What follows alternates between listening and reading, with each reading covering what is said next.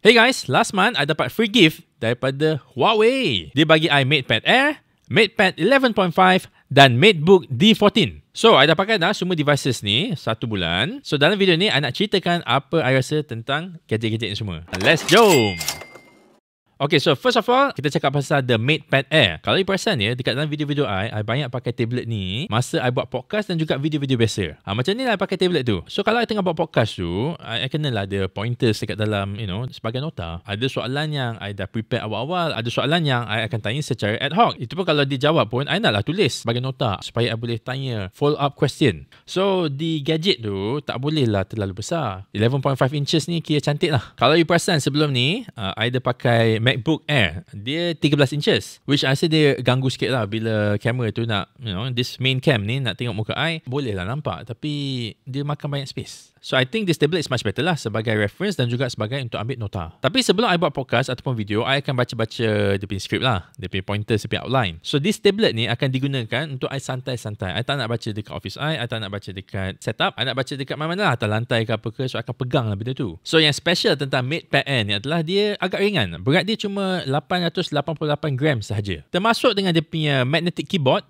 dan juga dia punya pen. And then before I dapatkan the script dan juga outline, I akan bawa tablet ni untuk pergi draft the script dan outline tu jugalah. Selalunya akan pergi taman ataupun pergi ke cafe. Termasuklah kalau I nak jumpa klien. Uh, sebab typically sebelum ni I cuma akan pakai phone. Tapi nak pakai phone macam tak elok sangat lah. Pergi tap tap tap depan klien. Nanti dia ingatkan kita tengah nak apa chit chat dengan orang lah. Padahal meeting dengan dia. So, I akan pakai this tablet sekali yang keyboard dia untuk ambil nota. Kalau dekat office, standard lah I akan pakai normal PC dengan keyboard dia sebab senang nak buat kerja. Tapi kalau dekat luar, macam mana pula? Nak jumpa klien ataupun hari weekend, kita nak keluar-keluar, takkanlah I nak buat IP PC. Walaupun MatePad Air ni adalah satu tablet. Dia sebenarnya adalah tablet flagship ya daripada Huawei. DP performance lebih kurang sama macam PC. So, kebanyakan software yang ada dekat PC, kita boleh guna dekat tablet ni juga ataupun ada alternative software. Contohnya WPS Office. Layout dia WPS Office ni similar dengan PC ataupun laptop version. You pakai dekat PC ataupun laptop, lepas tu you pakai dekat tablet, sama je dia punya layout. And tablet dia ni special tau. Sebab dia bukan sahaja detachable,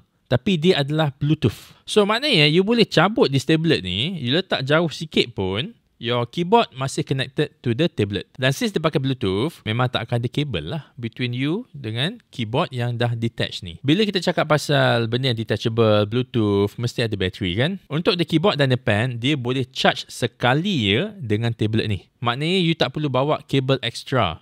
Tak perlu cocok USB Type-C ke apa ke, tak payah. Dia connected to the tablet magnetically sambil dia connect tu, dia charge. And of course, cakap pasal pen. I suka gila pakai pen ni, terutama sekali bila I tengah buat planning untuk my company. Yelah, you nak plan for any projects, you kena ada clean sheet, lepas tu you kena lukis-lukis. Memang boleh you pakai jari, tapi bila you pakai pen ni, you can be more precise. Whatever flow yang you nak buat, you nak tunjuk dekat orang tu, you boleh terus tulis ataupun lukis dekat dalam tablet ni. Other than that, I ada juga bagi anak-anak I main dengan tablet ni, bila I tak pakai lah. So, dia pakai lah this pen untuk lukis-lukis lah. Comel gila. This one pula is the MatePad 11.5.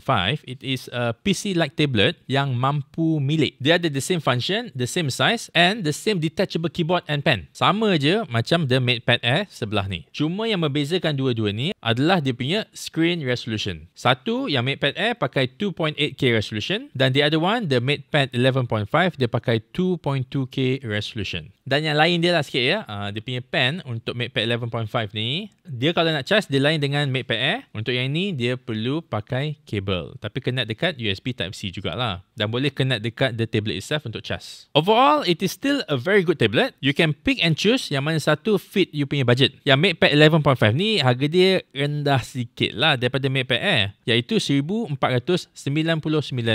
Manakala MatePad Air pula, harga dia adalah RM3,999.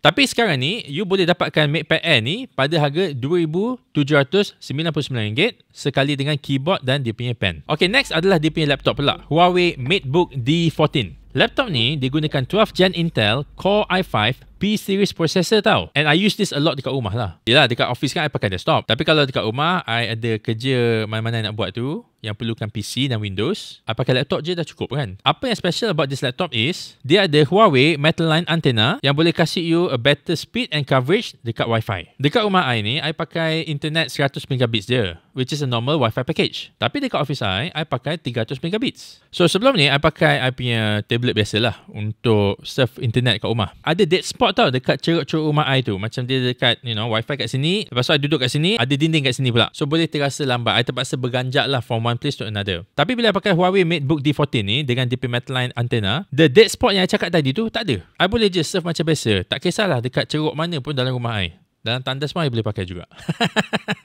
so the internet connection for my use became better lah. More stable. Seronok lah sikit kan. According to them, dia punya connection range adalah sejauh 270 meter. Rumah I tak adalah besar macam tu. So memang sesuai sangat lah. Yelah kan, to be honest, none of us boleh hidup tanpa internet. Lambat sikit je nak pegang kan. Pergi tempat sini tak ada internet marah. So kita tak nak hadapi benda tu lagi. Another one yang I suka tentang MateBook D14 ni adalah dia punya features super device. Uh, features ni dia allowkan laptop ni untuk dikenekkan dengan Huawei device yang lain secara wireless. Tak payah nak pakai kabel, cocok sana sini. Uh, bagi contoh ya, kita gunakan phone Huawei ni. Just letak je phone tu dekat bahagian yang ada tulis Huawei Share tu. Automatically screen phone ni akan pop up dekat MateBook D14 ni. Dia mirrorkan apa-apa sahaja yang muncul dekat dalam screen phone tu kepada you punya laptop. So you boleh transfer any of your files, documents, gambar or even video yang you nak from the phone directly to the laptop. Overall, I think Huawei P product ni is quite good and high tech jugalah. There are some features yang ada dekat dalam devices-devices tu yang you tak akan dapat dekat